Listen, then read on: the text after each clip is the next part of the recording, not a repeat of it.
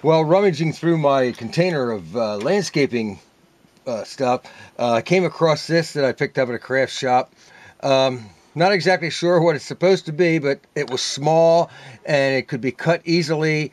And so I grabbed a couple of hunks of it. Uh, I'm sure this was a lot bigger than this. Um, and I cut it down into small pieces. So what I did first is I cut the top three piece, three sections off, kind of uh, Dr. Seuss-ish looking. But uh, then after I was done, I had what looked like this. So what I did was I ended up cutting them into smaller, very small plants. And uh, then decided what I'll do is I'll just drill holes and uh, glue a bunch of these in here just to make a uh, almost like a little ground cover type uh, plant. Um, it, it's just something a little different. It's just different, and I, I, I do like to get stuff on here that's a little different. So.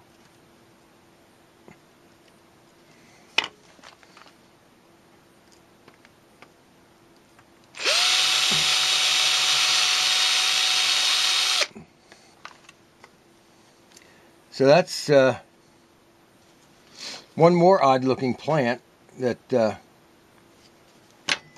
I can get on here that not everybody's going to have any idea what it's supposed to be or where it ever came from. But it, it kind of, like I said, it's just it's kind of ground, looks like a little ground cover. And I'll put a whole bunch of them back in through here. And uh, here's a, um, here's one that I finished. Finished this one last night. And I just took the, the, uh, the one circle that I already had the obviously the wooden pieces on.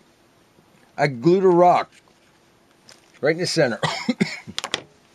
then I took some uh, ground cover, uh, the uh, clump foliage that's by Woodland Scenics, and broke it up into real small pieces, different colors, so it gave a little bit of different color coloring on here, and then glued in here. These are JTT flowering plants.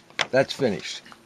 Okay, so here's seven examples of small plantings that I'm going to be using on the choo choo barn this winter. Um, some of them are simple, some of them are a little bit more elaborate.